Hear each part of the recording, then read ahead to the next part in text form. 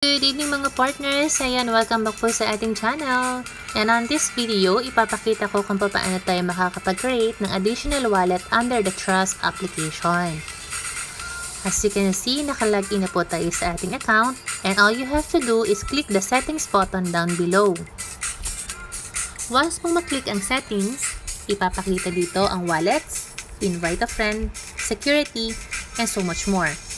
Gusto ko lamang pong i-mention na under invite a friend, dito po ninyo makikita inyong referral link as well as the free tokens available on hand na binibigay ng Trust application para sa mga users nito as the referral bonus.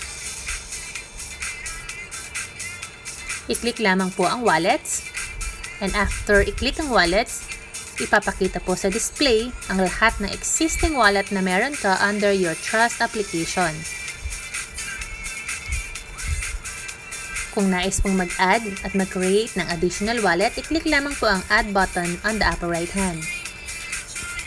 Once po maklik ang Add button, tatanungin ka kung gusto mo mag-create ng new wallet or nais lamang i-link or i-access ang existing wallet na meron ka.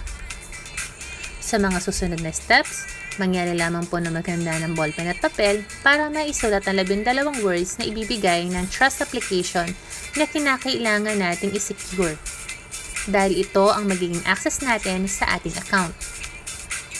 I-click lamang po ang box at click continue. Sa inyong display, makikita ang labindalawang words na binigay ng trust application na kinakailangan natin i-secure.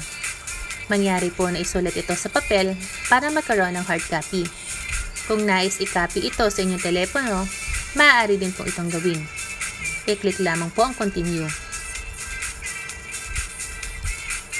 Dapat pong tandaan ang pagkakasunod-sunod ng labindalawang words na binigay kanina. I-click lamang po ito at matapos ang proseso, i-click ang continue. Your wallet was successfully created. I-click lamang ang OK at ipapakita na ang inyong additional wallet created under the Trust application. Sa mga may multiple accounts, mangyari lamang po na i-check ang inyong account under the settings na gaya ng nasa display ngayon para makita kung aling account ang activated for viewing.